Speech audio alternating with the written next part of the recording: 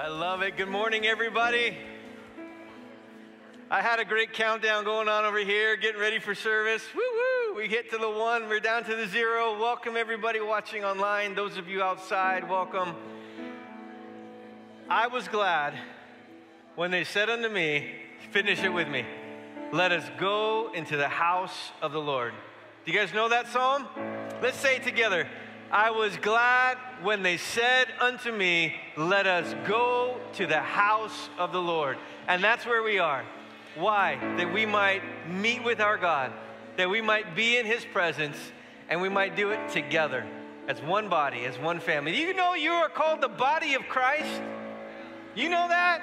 You are the body of Christ, the representation of Jesus in this world, all of us together who know him are his body. Those of you online, you're joining with us today. So we're going to lift up our praise. We're going to lift up our hearts. We want God to meet with us in this house and fill it with his glory. Father, it is you that we have come to worship and to see, to honor and to bow before. God, with our hearts, we lift up our praise. From our hearts, we lift up our songs. From our hearts, God, we come in humility. We come to be changed. We come to hear your word. We come to be transformed. We come to meet with you. We come, God, we come boldly with confidence as sons and daughters, owning that you have brought us into your family. And there are some even this morning who might come seeking wanting to understand who you are, may you reveal yourself to them as the God Most High, the great Creator, Lord of all. Jesus, would you receive our praise as we honor your name? If you agree with that prayer, would you say amen? Amen. Let's worship today.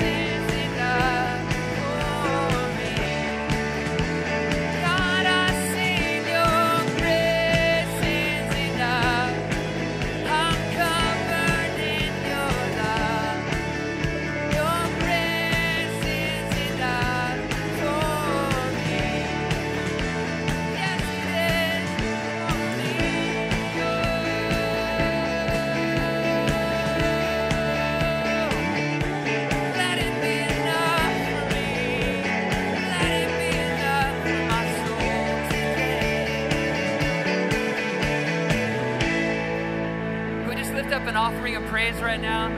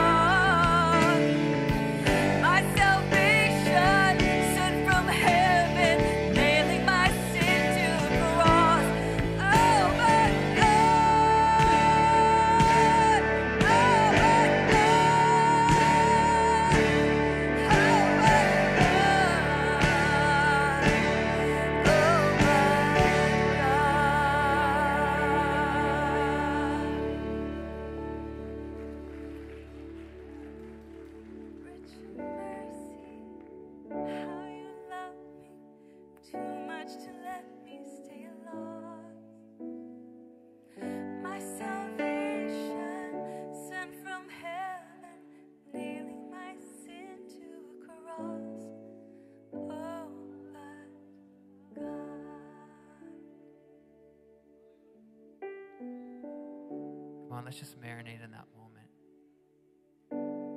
All the wreckage of my choices. Oh, but God. Oh, but God. Now, the, the Spirit led me this morning to take us in a kind of a different direction.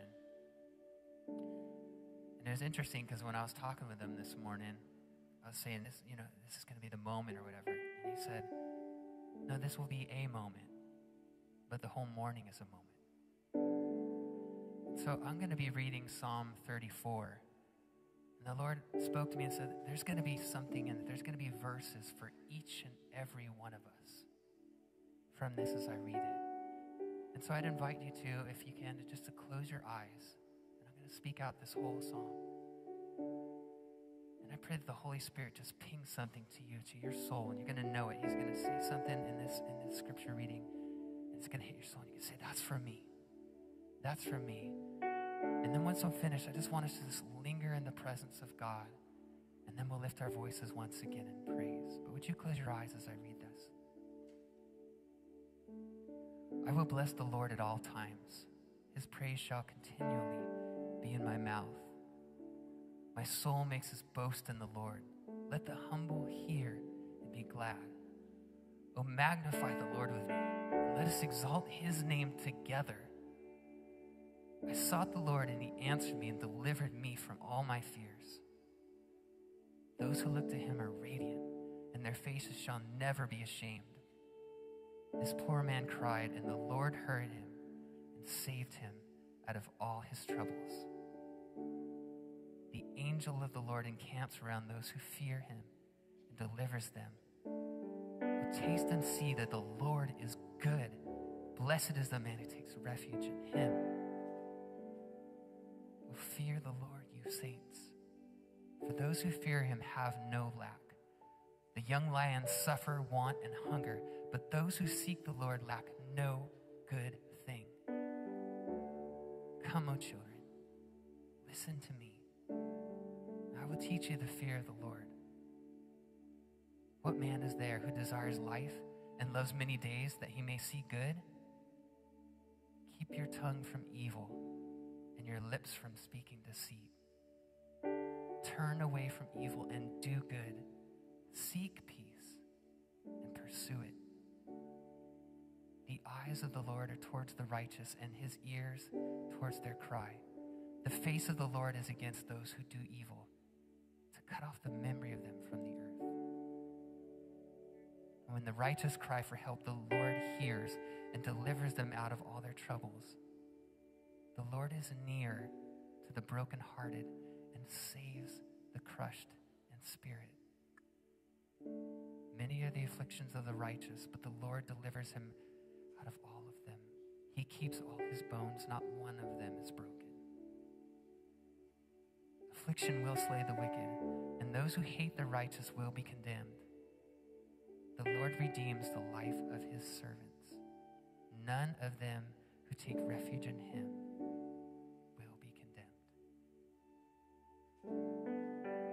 the Spirit today.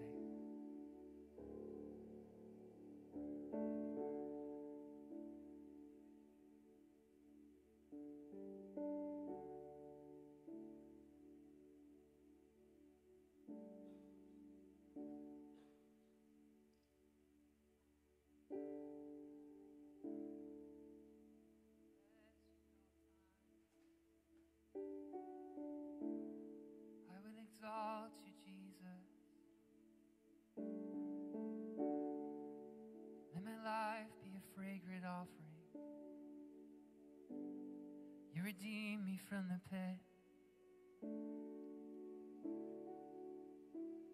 But even in it, I'll sing praises.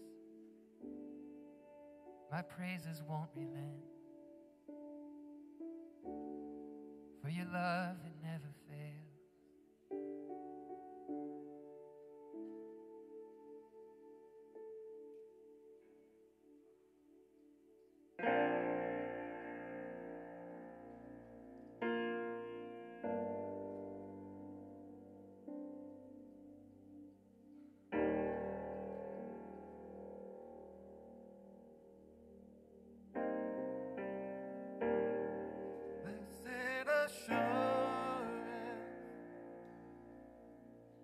Jesus is mine.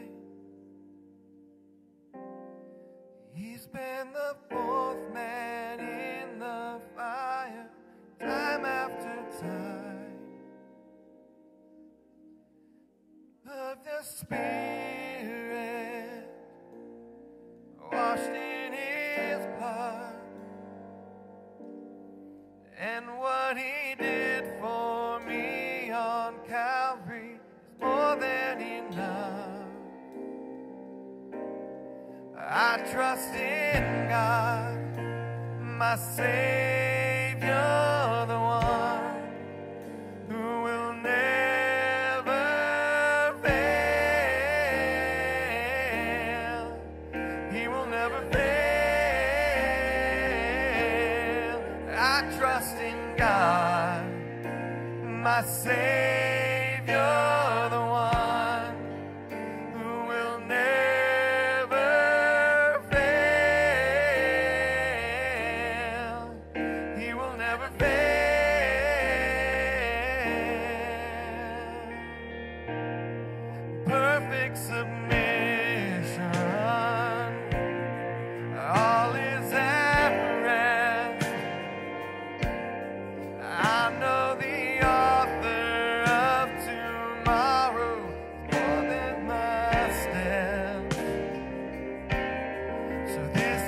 my story,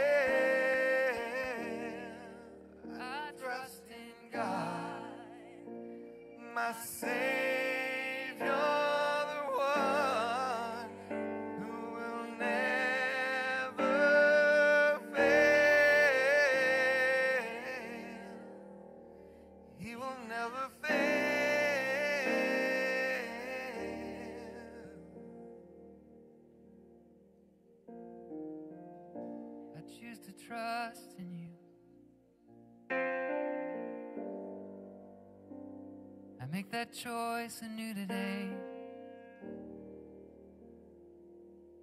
Lord, you declare that we seek and we will find you. Draw near to you and you draw near to us. When we seek the Lord, you answer. We trust you. You're a living God, a living and vibrant relationship daily. We hear from your spirit and we move. We hear from your spirit and we're corrected. Hear from your spirit, we rejoice. We mourn with those who need to be mourned with. Lord, you teach us the ways of righteousness. We trust in you today, Lord. We say together as a church family. We trust in you. You will direct our path. You will guide our steps, Jesus. With one heart, we just affirm that together. We love you, Lord. We love you today. In Jesus' name, amen. Amen. Amen. I'd invite you to be seated as I invite Pastor Ryan up. Hey, let me invite everybody involved, volunteering, leading VBS to come up here right now. Don't get too comfortable. Come up here. As we prepare for this week, you can take the steps, you can take the front, you can take the stage, you can just wherever you can get. If you're helping, you're volunteering with VBS this week, we want you up here on the stage. Oh, yeah. Come on, let's give him a hand. We got an army coming. Come on.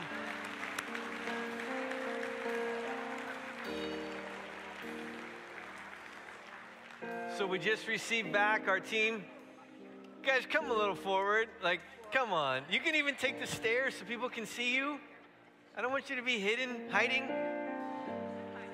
So we just sent a team to Chiapas, Mexico, and they just came back. They were on mission in Chiapas. Today we commissioned sending a team right here. They're entering into a week long mission, so to speak, loving our kids from our community. There'll be kids from our church, kids from our school community, kids from our neighborhoods, kids from all around that will be coming here. They're going to hear about the Lord.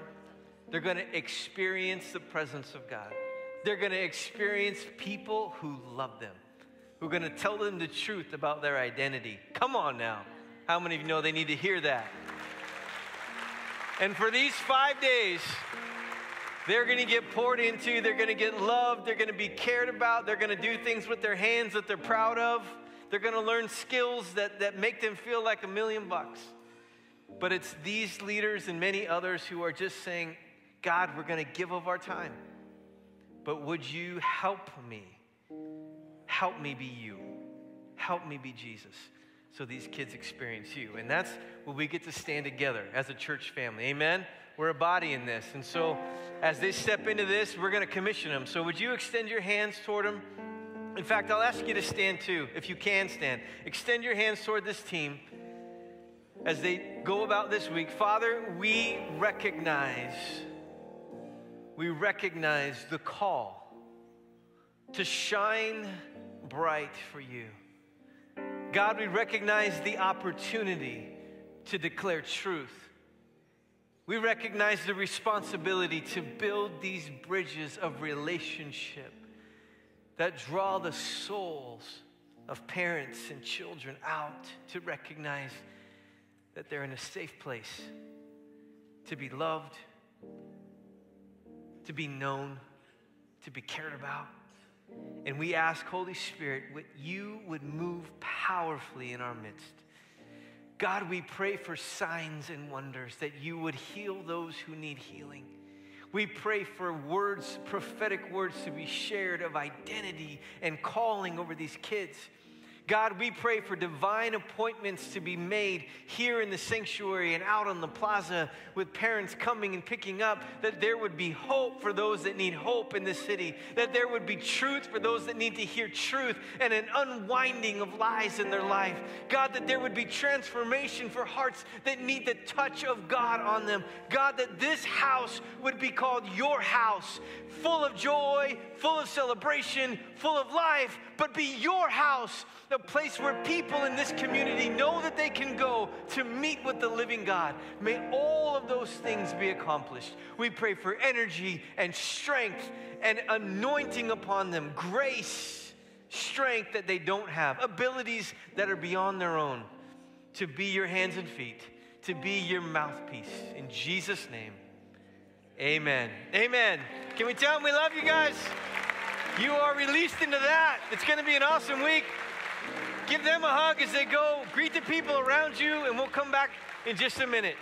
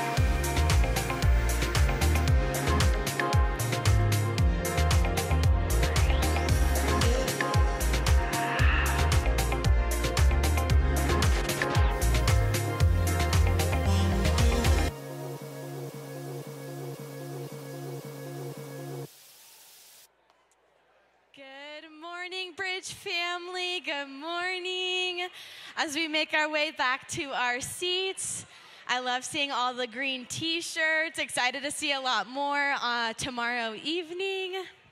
Bye, high school. They like to stay around and just talk. Bye, high school. Get out of here. Just kidding. We love our high schoolers. We love him. We love him. Well, good morning. My name is Lexi. Welcome. If no one told you today, we are so excited that you are here and to, decided to join us this morning. So, welcome. If, if, if it's your first time here, just want to send an extended thank you for joining us and welcome to the Bridge family. We're so excited that you decided to join us this morning. If it is your first time here, or maybe you're newer to the bridge, we um, would love to get to know a little bit more about you, your story, and just what makes you you. And we would love if you could fill out a connection card um, right outside here. Sydney's usually out there. She's awesome, and you'll get a Starbucks gift card from us. So if you uh, were on the fence, maybe that'll get a little a little kickstart. Maybe some coffee this week during VBS might be a good idea. Um, and yeah, so welcome. Uh, our first um, highlight is we have a Paint for Kenya families. And I'm going to talk a little bit about this really quickly.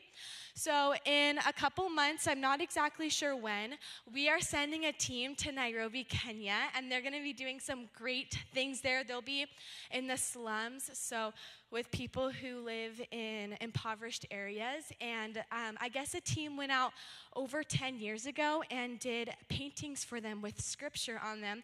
And we found out that the people who received those still have them 10 years later, and they cherish them and they as something like a prized possession to them. And so we as a church family wanted to go ahead and do that all together. And last week's sermon, Ryan, um, it's really been sitting with me. I've actually been wrestling with this all week, said, Nobody should love people better than the church. And this is a great way to be the tangible hands and feet of Jesus. And I've been praying all week, God, what does that look like for me? What does what does loving people to the best of my um, abilities look like? As a broke college student, I'm not exactly sure if I can give funds, if I could, if I could be like here. But I, the Lord's been telling me, you can give your time. You can go and you can give your time to others. You can love people in that way. And so this is a great way for families too to bring your kids to show people that as the church, we love people to the best of our abilities. And so we wanted to send our team with beautiful paintings with scripture for um, these men and women and children in Nairobi, Kenya, in the slums, to have something to hold on to, um, to have them as a reminder that they are loved by God. And so that is going to be June 29th in the lower campus. There's more information on um, the church website, thebridgersm.info, I believe. Yes. um, if you would like to sign up. And then the last thing I have is we have an Angels game coming up for our men's ministry, or is sponsoring an event for the whole family, excuse me. Our men's ministry is for the whole family, and Angels game. So invite everybody, invite your neighbors and your friends. Um, the tickets are first come, first serve. So if this is something you know your family's going to really want to do, or you have friends that might really want to come, definitely snag those tickets. I know I'm not a huge baseball fan, but it's always fun to go to a game, get a hot dog or something, hang out with friends. I'm like, what's going on during the game? I don't know. I'm talking to people the whole time. I have no idea. I don't. Maybe my attention span's that long. I don't know, but it's fun to go, right? A summer activity, if you will. So go snag your tickets if you're interested, and if you're baseball fans, then definitely do. So um, yeah, and if you would just join me, I feel like it's hard to come up here and not recognize all the amazingness our team did. Every year they talk. I know. Can we give them a round of a hand, like or a, yeah?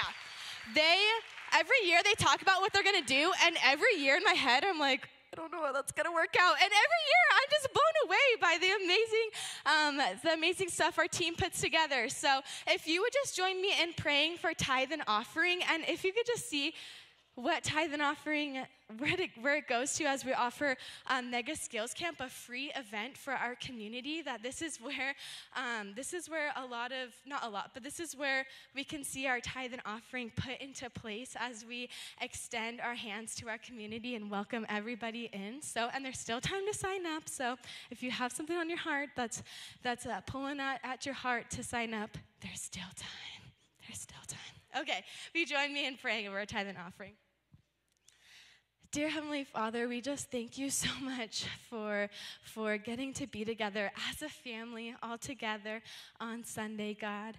I just thank you so much for what you're going to do this upcoming week, Heavenly Father. There is so much um, that's already in store as you prepare the hearts of kids, of families, of leaders, Heavenly Father.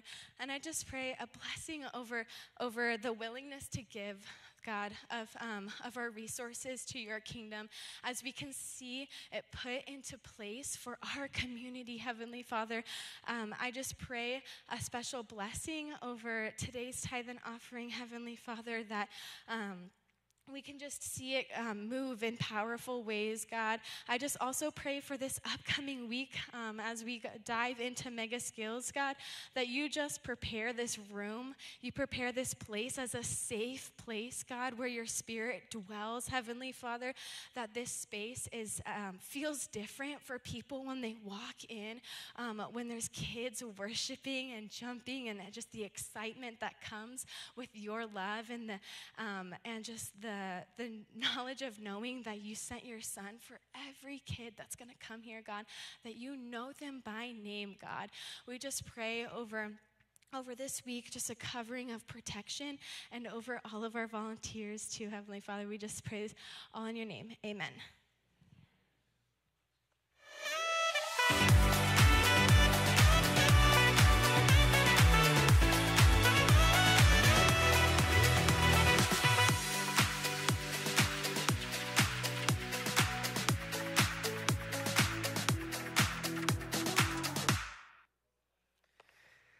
Well, good morning. We get the opportunity to conclude this series. I say opportunity because next week will be a special time of coming together at the end of VBS and, and uh, just not only celebrating what God's doing, hearing the stories and the testimonies, but um, getting to probably welcome other people that we haven't seen from our community too and get to uh, uh, embrace them as we wrap up the week. But this wraps up our series, Fearless Trust, um, and uh, this particular part, Fearless Promisers, we talk about moving into the promised land. Beginning of the year, we said this year, if we could focus on one thing, it was the word fearless. Fearless. What would it be like if we spent the entire year not making decisions in fear? What if we did not allow fear to motivate, to dictate, to shrink our lives in any way? But in anything and everything that could eat our lunch and produce fear, anxiety, we would take those things to the Lord and say, God, I'm learning I can trust you with this. In particular, finances, the season, the cultural time in which we live, it's on our minds. Finances is one of the biggest areas. Provision, providing for my family, providing for my future, providing for our, our home, our, our needs, all of that. And that has been the, the main focus of this series as we talk about how God was with Abraham, reminding him, I'm with you, I'm calling you out. And we talked about the story of grace as seen through Abraham's life, all of which had this picture you were blessed to be a blessing. My intention for you is to bless your life, is to overflow, because your life is intended to bless the people around you. And from that lens, we talked about then God leading them through a season in the wilderness, a season of testing, trials, a season of daily dependence on Him, and the, the ways in which He taught them and brought them close and said, You're going to have to trust me every day. For 40 years, He fed them every day. For 40 years, He protected them. For 40 years, He was with them. Their clothes didn't wear out, their sandals didn't wear out. It's amazing. But He said, This is what you can trust me even in seasons when you don't have abundance, to be your enough, to be your abundant. I will bring, I'll be there every morning when you wake up. Some of you are in season like that. But for the most of us, the, the reality of where we're at today, especially living in our, in our country, is that we're in this other season, the season where now you're moving into the promised land. And as they moved into the promised land, the promise was this is going to be a land where there is abundance, where you're not going to worry about whether or not your shoes are going to wear out. You're going to have another pair of shoes, where there is going to be food in abundance and bread in abundance. But the challenge of a season like that, it's different than the one before. Challenge in this season is that your heart forgets their dependency on me. That there's going to be a tendency, we read in Deuteronomy, for your heart to become proud, to be lifted up, it says, and forget God. And Moses keeps reminding this word forget. Don't forget, you have to remember. Don't forget, you have to remember. But it's easy to forget when we're not in desperate situations. Are you with me? Until a desperate situation comes along again and we go, Oh God, I need you. And he says, You always need me. But let me develop for you now in the promised land rhythms. And we talked about first rhythms of how to continue giving with joy. The only kind of giving I'm inviting you into are rhythms of giving with joy. And he spoke about tithes and first fruits and bringing those and what we say when we do, what they represent, what they remind us of. And then he talked about, and we talked last week about this system or these, these, this understanding of living lives of generosity. He actually built it into the economy that we would have a heart for and a concept of the poor. How do we care for the poor and the marginalized in society? We're not going to glean our fields to the edges. We're going to make sure they have a voice in representation, that everything we do is going to be done with an eye to caring for the poor and those who are marginalized. And that's what Lexi was mentioning earlier. This week, we wrap it up and we talk about one more rhythm. And it's a powerful one. And probably it's going to come across, I'm guessing you're going to, it's going to be a little bit more machine gun. I have points, but I think for our hearts, it's going to come across a little more machine gun in that there are going to be certain things that hit you differently than other people in this whole concept of gathering with gratitude or gladness or gathering. He set up systems or rhythms that every year at certain times they would assemble as a whole people. Not only every seven times a year, but also every week. And Moses goes through, and I'm going to read this whole passage to you out of Leviticus 23. So you see the whole context. This is before they're in the land. They haven't got there yet. And he says, When you get there, here's what we're going to do I'm going to pick a place, a special place where I'm going to dwell. And that's eventually, we know that was Jerusalem, when the temple was built in Jerusalem. And it's going to be a spot for gathering, but also you're going to gather in your towns. And here you're going to gather, and I'm calling these holy convocations. Now, that's not a word we use very often, um, but holy gatherings, we're talking about what is a holy convocation. And he says these are times, weekly and yearly, where I'm calling all my people to assemble either where you are in the towns you live or to a place, a particular spot, three times a year here in Jerusalem. Now, why are they holy? Well, he'll say, These are mine, these are my feasts, these are my gathering days. They're holy because they're special to me. They're not like any other day, they're not common. On these days, we don't do what we normally do, we do something totally different. On these days, like a Sabbath day, we don't work. They're actually built in holidays, they're built in rest and celebration days. And they're not to be treated commonly, and they're not to be ignored. They're holy, and they're convocations, they are gatherings, they are assembly, they are us coming together in a place. That's how important they are to me. And so that's what he's going to say. And so he gives the list of what these holy convocations are. I won't have time, and some of you will be disappointed, to explain all of the feasts and what they represent because each one is powerful in itself to explain. We won't have time for that.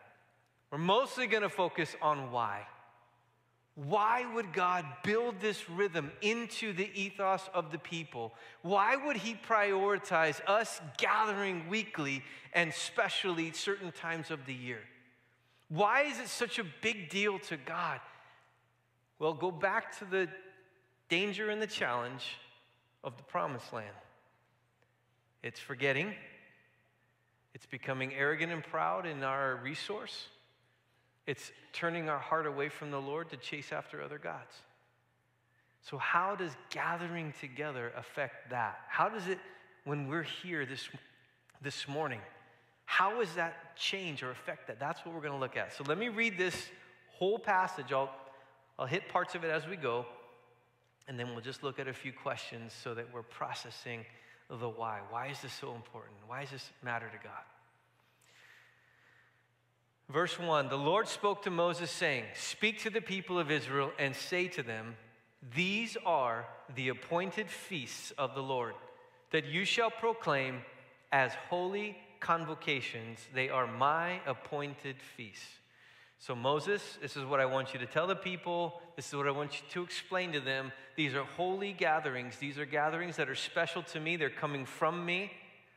I'm saying this to the people as they go into the land. This is something to always remember. He begins, though, not with feasts, but with the remembrance of the Sabbath. Something we talked about in the wilderness that was established in the wilderness. He's saying this is going to carry on into the promised land. Six days shall work be done, but on the seventh day is a Sabbath of solemn rest, a holy convocation, a special time of assembly as my people. You shall do no work, it is a Sabbath to the Lord in all your dwelling places. So, Sabbath continues from the wilderness now into the promised land. They're supposed to take that day and make it special, holy, and gather together before the Lord. Now, here are the seven feasts. They're going to be broken up if you're trying to figure out the timing of the years. There's four that are roughly starting in March, April, that will end in June. So they're in like the springtime of the year, and there are three in the fall time of the year, and they both have special representation. But the first four, let's read through these the Passover, the Feast of Unleavened Bread. These are appointed feasts of the Lord, the holy convocations, which you shall proclaim at the time appointed for them. In the first month, on the 14th day of the month at twilight, is the Lord's Passover. And on the 15th day of the same month is the Feast of Unleavened Bread to the Lord. For seven days you shall eat unleavened bread. On the first day you shall have a holy convocation. You're going to gather together. You shall do no ordinary work, but you shall present a food offering to the Lord for seven days. On the seventh day is a holy convocation. You shall not do any ordinary work. I'll stop there just for a quick explanation. So, we're talking about Passover. If some of you remember Passover, it relates to and speaks back to Israel leaving Egypt when the angel passed over. It was the 10th plague, the final plague in Egypt. And he said, All the firstborn are going to uh, be killed unless you shed the blood of the lamb and you on the doorposts and on the sides, on the lintel and on the posts, in the, really in the form of a cross. But they were to do that with the blood of the lamb, protect, and the angel passed over. But for Egypt, that was a final plague, and they just sent them out after that, the Passover. Jesus, of course, fulfilled this as our Passover lamb who was killed and on the cross, the form of the cross, he was killed on Passover. He fulfilled this specifically in his life. But Passover, followed by an assembly, a time to gather together. Seven days we're going to feast. I don't have time to get into all the things that happened in those seven days, but for seven days, imagine that a seven day party, a seven day feast. And this was one of the three that they were required to go to, the males, all the males in Israel, every year, all the way up to Jerusalem. From wherever they were, they would gather in Jerusalem. For seven days, they would feast, they would celebrate, they would come before the Lord. It's a powerful picture. And the Lord spoke to Moses, saying, and on and speak to the people of Israel and say to them, when you come into the land that I give you, and reap its harvest. You shall bring of the sheaf of the first fruits of your harvest to the priest, and he shall wave the sheaf before the Lord that you may be accepted. On the day after the Sabbath, the, the priest shall wave it, and on the, on the day when you wave the sheaf, you shall offer a male lamb, a year old, without blemish, as a burnt offering to the Lord. And the grain offering with it shall be two tenths of an ephah of fine, fine flour mixed with oil, a food offering to the Lord, with a pleasing aroma, and the drink offering with it shall be of wine, a fourth of a hin. And you shall eat neither bread nor grain, nor parched uh, or fresh until this same day, until you have brought the offering of your, of your God. It is a statute forever throughout your generations in all your dwellings. And this particular feast, the Feast of First Fruits, it was the first harvest. So, this is the grain harvest. Uh, there's two. You'll see first fruits in here. There's wheat and there's barley. There's two different harvests that would come. And this particular harvest, they would take a sheaf of it and they would come. It would be a holy day, special day. They would assemble really in their areas now before the priest, and the priest would wave it. And they were not allowed to eat of this first fruits of this harvest. They were not allowed to eat of it until they had first brought it to the Lord. And they would bring it to the Lord and say, Lord, you, you, you've done this. You did this. This belongs to you. You first. That was another time of gathering.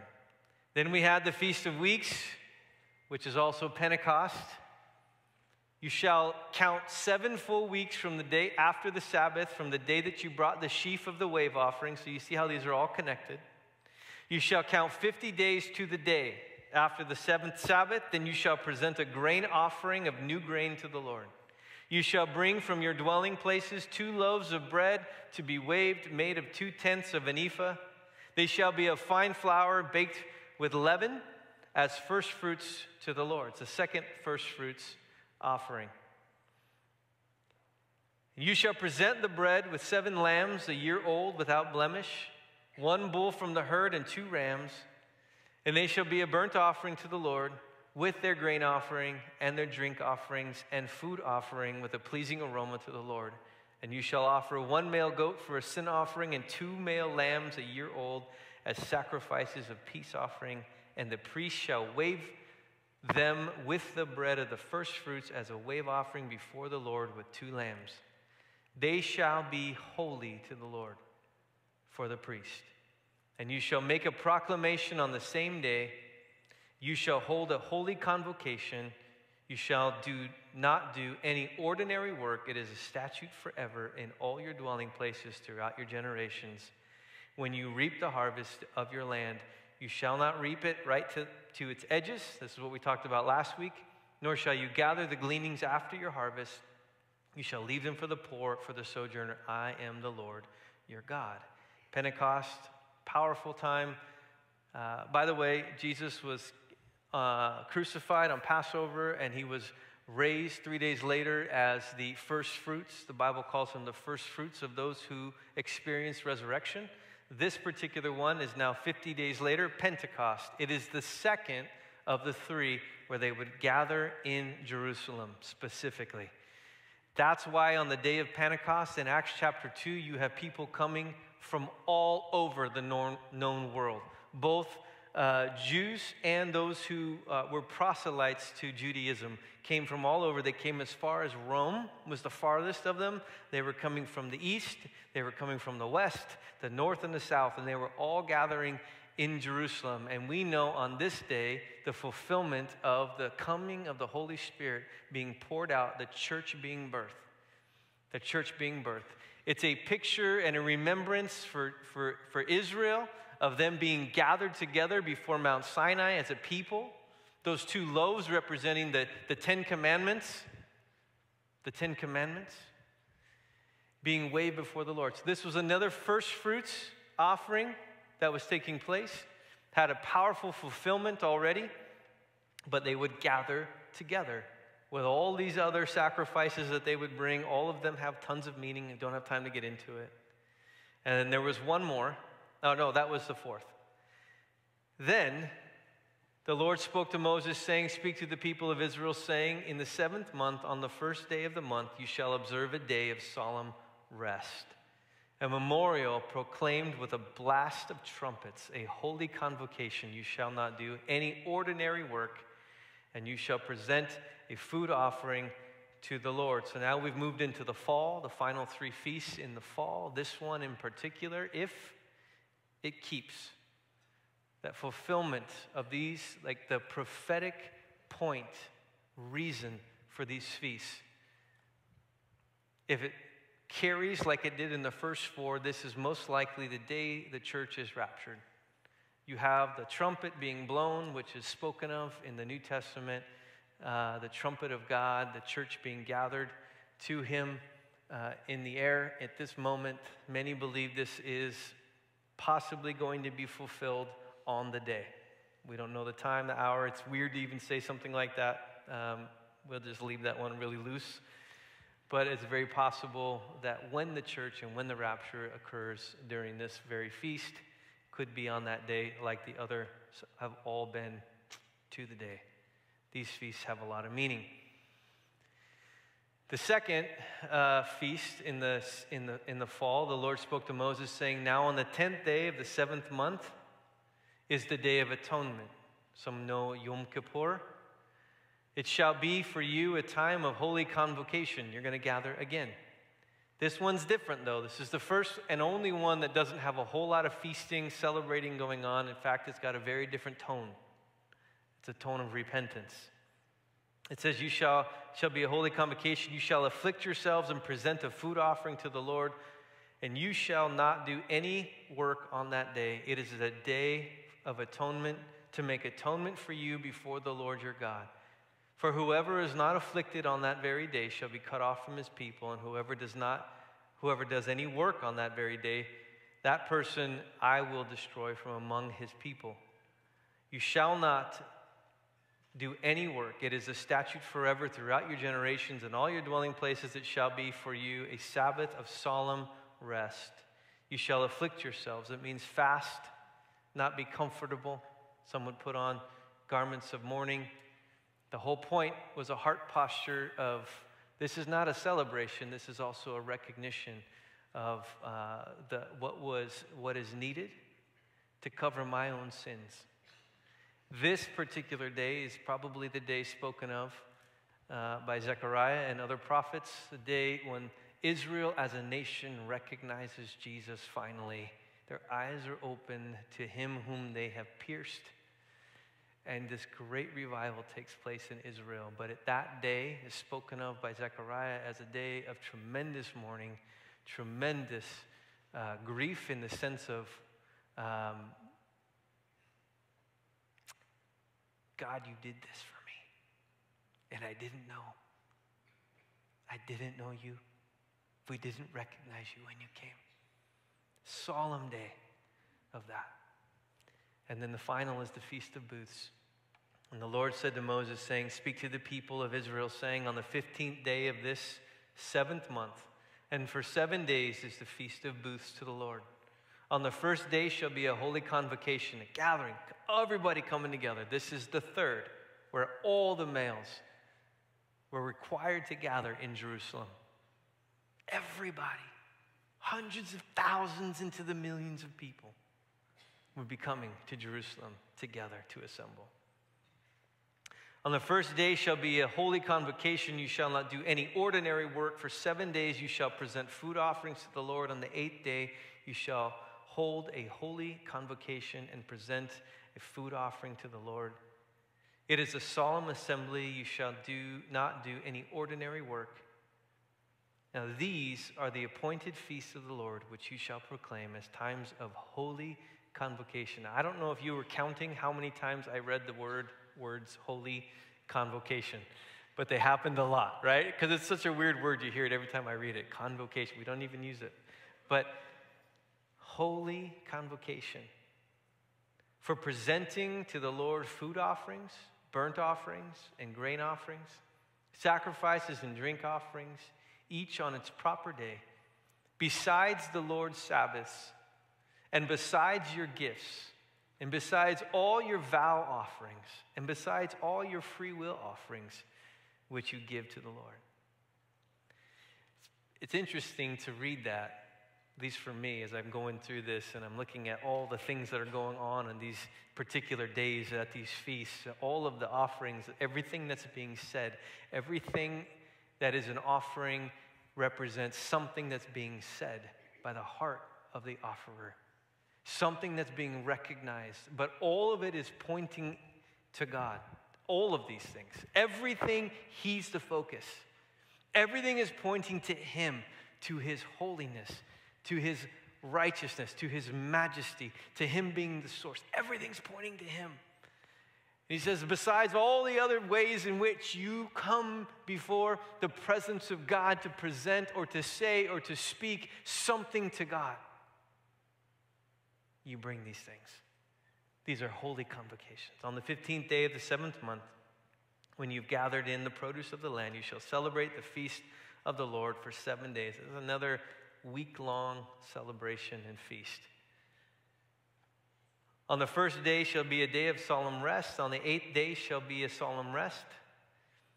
And you shall take on the first day the first uh, of the fruit of the splendid trees, branches of palm trees, and boughs of leafy trees, willows, and, and of the brook. You shall rejoice before the Lord. Say rejoice. Just say it with me. Rejoice before the Lord because you can't miss the tone. It's easy to miss the tone of what's going on. You shall celebrate it as a feast for the, to the Lord for seven days in the year. It is a statute forever throughout your generations. You shall celebrate it in the seventh month. You shall dwell in the booths for seven days. So, what does it mean to dwell in booths? It's remembering their time in the wilderness.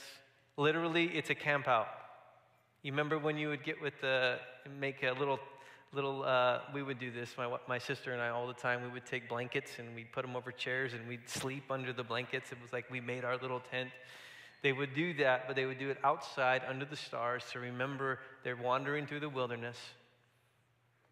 But this particular feast, its final fulfillment, we read it continues on into the millennial reign of Christ.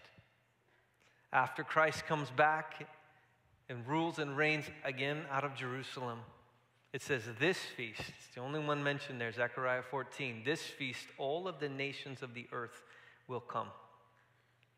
And they'll present themselves to the Lord there in Jerusalem for the Feast of Booths. And so its fulfillment is actually the millennial reign of Christ. And it speaks about the in between wilderness to the promised land. We weren't quite there yet. It reminds us, as it reminds Israel, that the fulfillment is yet to come. That the greatest spot, the place where we're going to be dwelling with God, the place where He comes and reigns, that fulfillment is still in the future. And so, anyway, there's more to say about that. But let me just stop for a minute. It's a lot of words. I read you a ton of scripture. But I wanted you to hear the whole because if you don't catch it, you think this is just some little thing that means something to God. This means something significant to the Lord. It matters to Him greatly that we assemble as His people before Him. Now, what is all of the significance of that and why does it matter? I think there's a lot of answers. I think if I look down each one of these roads that I started trying to study, that they're all rabbit holes of amazing truths. So they're full. That's what I mean by shotgun. You've got it, Lord, what are you saying to me? How do I view assembling before you? Is it a value of mine? Do I, I don't know. How do you see it? Because partly it's, is it a value? Do, just to come together, to be with the people of God, like this matters to me or it doesn't matter to me. Why does it matter to me? Partly it's that. The other part is who am I assembling to? I mean, so much of their focus was going up to meet with God. I'm to be with you. I'm to see him. And the kids would be excited and they'd gather and they'd come as families. They would come the men. It would be a giant caravan. It would take days and days just to get there to start the celebrations. I mean, just catch the picture. There was no planes, there was no trains, no automobiles. There was horseback, camelback, donkeyback walking on your feet. And they're gathering from hundreds of miles away. They're gathering from great distances to this place. And all the way that they're gathering, all the way that they're going, they're, why are we going? What is this for? Who are we going with? It matters to God. I believe a few things. I think they assemble to remember and to recalibrate. There's something in there for us.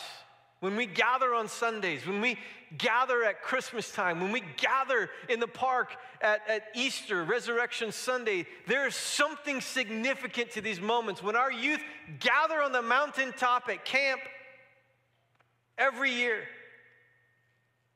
when we gather, there's something significant that happens in that whole remember, remember, don't forget. Remembering our identity, our corporate identity, a shared identity. That these people in the room with you here, they're not common, they're not insignificant. Socially, we may be in different circles outside of this place, but I tell you what, when you come and you are part of the body of Christ, all social divides disappear. Because we have one who brings us all together. There's one name that names us all, and we're the body of Christ. And we are not just as an identity, yay, we're the body of Christ. We are, we have a purpose as the body of Christ. It's us. Old and young, every age we have a part to play. Look at all the different colors and ages that are just represented in the shirts that were on the stage. There's an identity that's restored. Remember who you are. You are the people of God, the holy people of God. You are Israel. You have a history, you have a story, and you have a purpose. That's got to be part of it in this recalibrating of the heart for sure. Because they come together, they assemble, they're united, but there's a recalibrating. Imagine you are coming to meet with God, the conversations you're having in your own heart before I come into God's presence. How Are we doing okay? What's going on?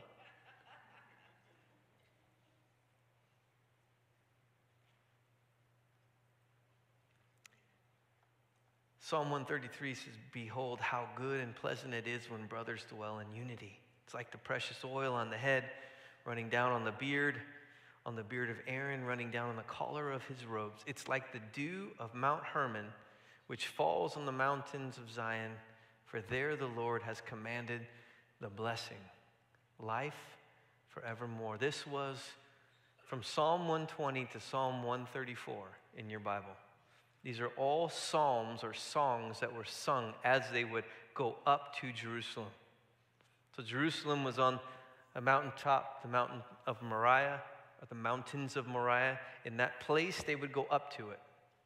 Some way you're going up to Jerusalem. But as they went up to Jerusalem, they would sing songs together as a people. This was one of the songs they would sing. How good and pleasant it is when brothers, sisters gather together in unity. It's a beautiful picture. It's like the picture of the anointing oil flowing from Aaron's top of his head down his beard to his robes. Who was Aaron? He was the high priest, the first high priest, the one who represented us in the presence of God. Because we recognize we're going into the presence of God. It's like that. And it's like Mount Hermon, from where all the snow falls and all of the rain falls and all of that flows the water through our land creates the Jordan River, the Sea of Galilee. It's all fed, all the springs are fed from Mount Hermon. It's the beginning, the top part, where all of the source of life flows. Now, that's a picture. I don't know every part of this. I can't even begin. I feel like I barely scratched the surface, and I've been looking at this all stinking week. There's so much here, but what picture do you have when you're getting ready on Sunday morning? Like, what's in your mind? Like, I'm gathering to go. We're going to be united. There's assembly where the people of God to worship God represent that there's a flow of life that's expected to flow from these times. And he says, that's good and that's pleasant and that's awesome because something amazing, God commands a blessing in that space. I don't know if you came in expecting the blessing of God commanded here, but that's what happens when our hearts are unified like that.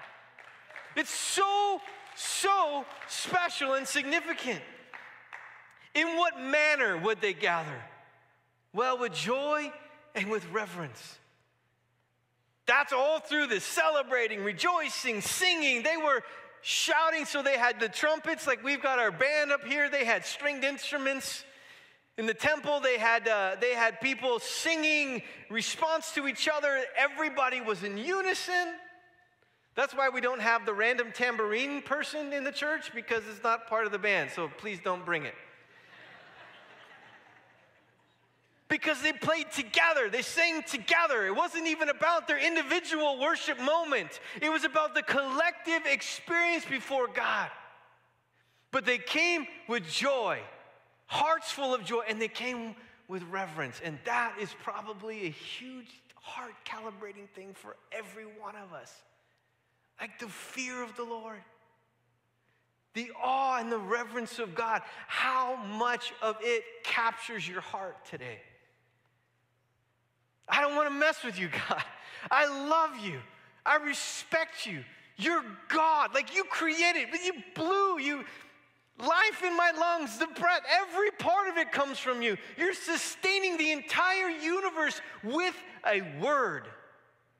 And when the time comes, with a word, everything that is material in creation is going to dissolve and disappear. That is the power of our God that we're coming before.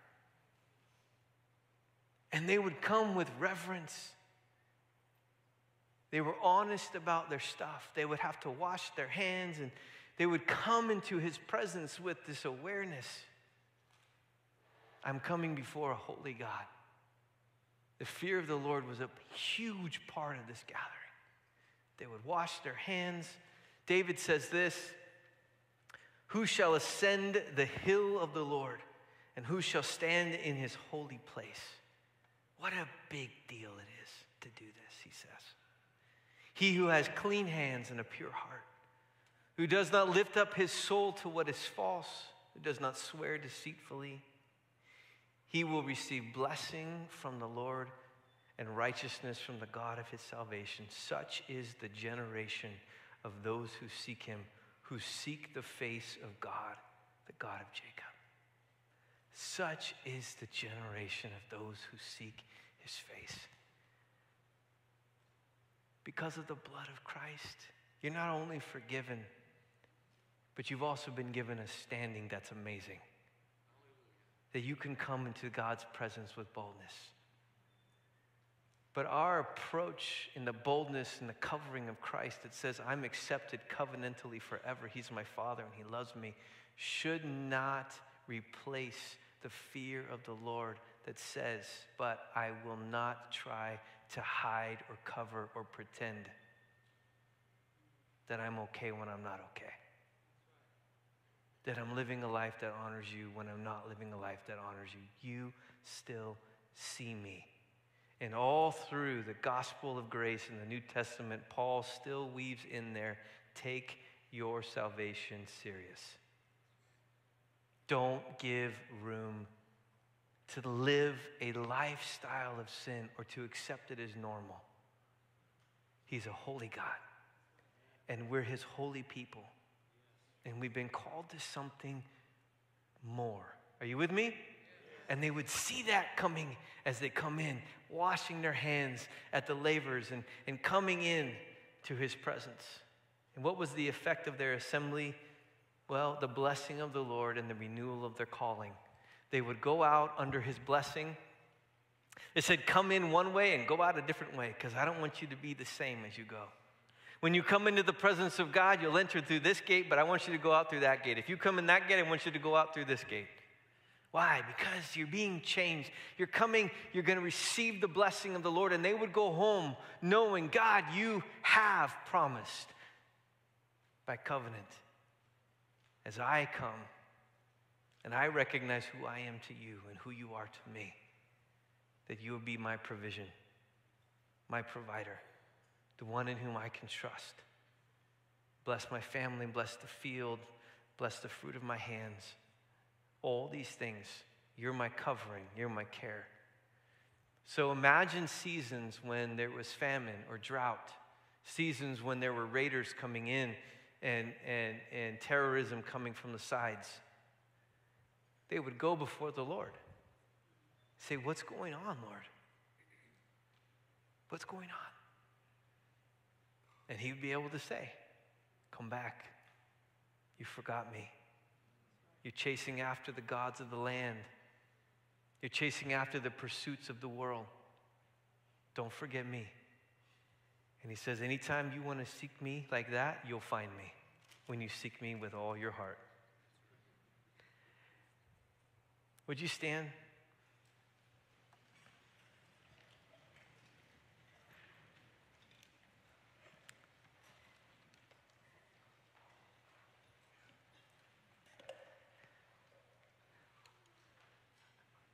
It's a special thing to be a part of the body of Christ.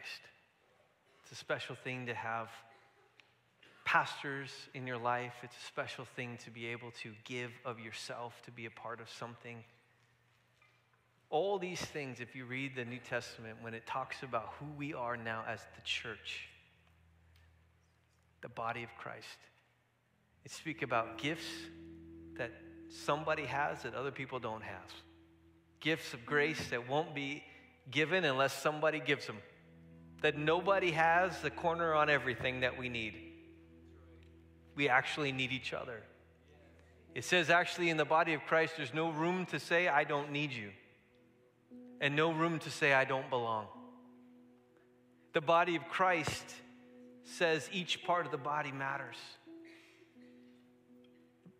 Ephesians 4 tells us that Jesus gave gifts of leadership to the church to help, to care for our families, to watch over pastors and teachers and, and, and, and apostles and prophets and evangelists, to build up the body of Christ so that it matures into who we were created to be.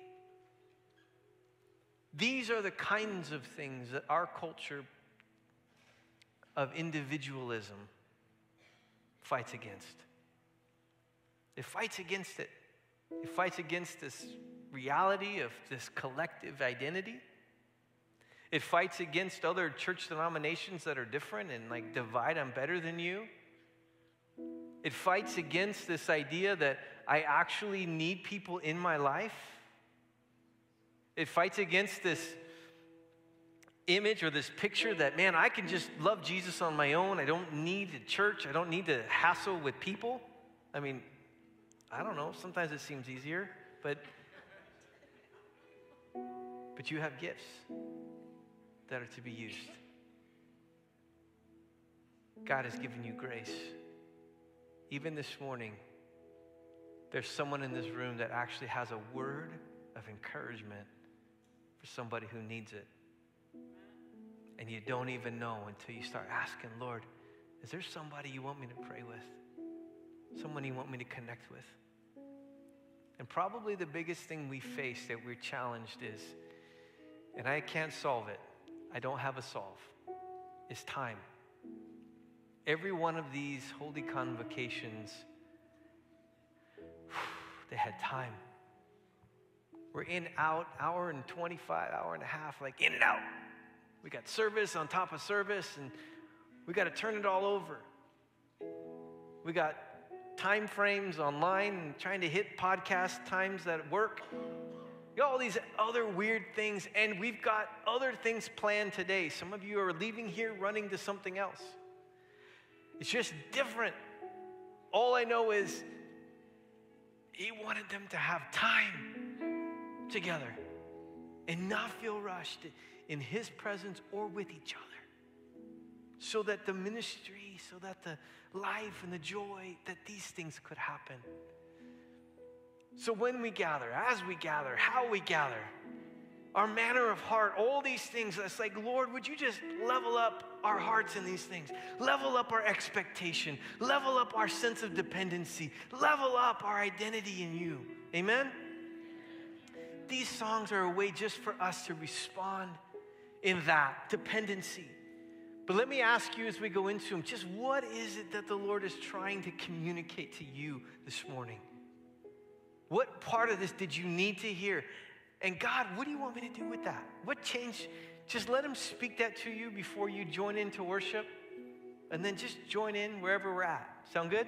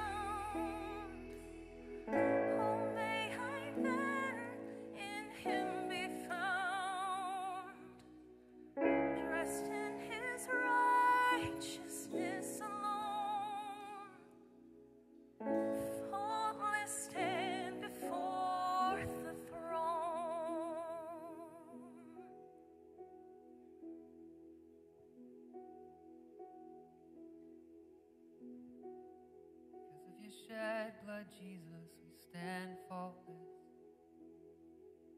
gathered before your throne to bless your name, to come as we are.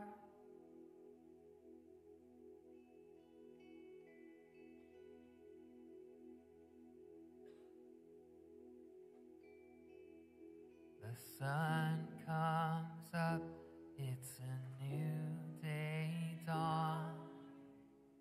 It's time to sing your song again.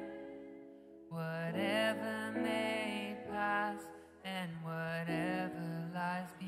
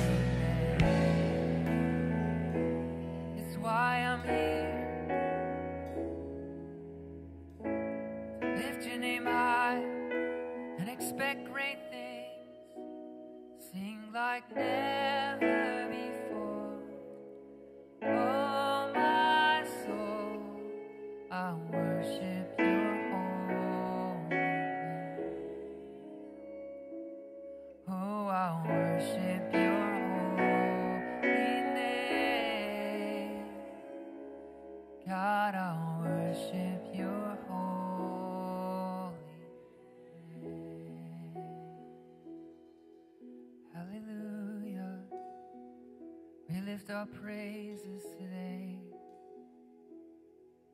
From your heart to his lifted up. Sing praise. You know, there's been so many moments for me. I want to close in a final song. But there's so many moments where, man, I just I just need to be fed. You know, you've heard that I come to church to get fed.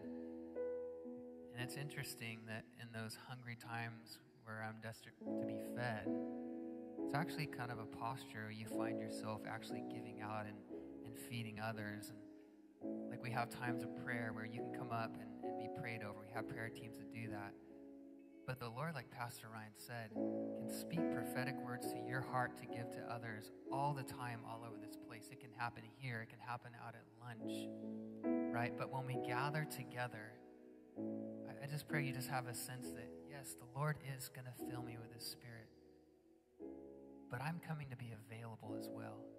I'm coming to be used by the Lord. And trust me, I know those times it feels risky at times to share something. Hey, I, I, I feel like the Lord's and just take that step of faith because you never know that person that day just needed so badly to hear from the Lord. And He chose you. He chose you to be His voice to their heart. And so let's be the voice to the heart of everyone gathered in this holy convocation, right? To sing and end with these words, with this song, as we go and we leave this gate changed. I exalt thee. I exalt thee. I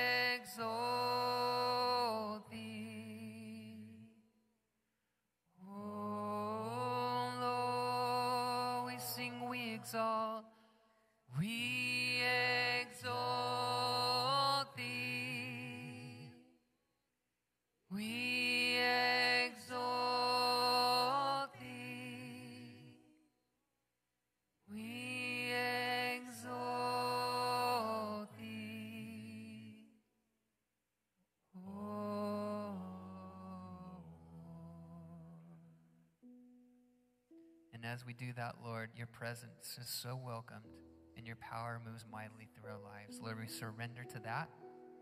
We surrender that to this week, Lord, and giving of our hearts to those kids at Mega Skills, Lord. May we be poured out an offering, Lord, to their benefit, to your glory. We love you, Jesus. You changed us today. If you agree with that, would you say amen? Amen. God bless you. We got a big week ahead of us. Be in prayer. Go out, change today, and change the world in Jesus' name.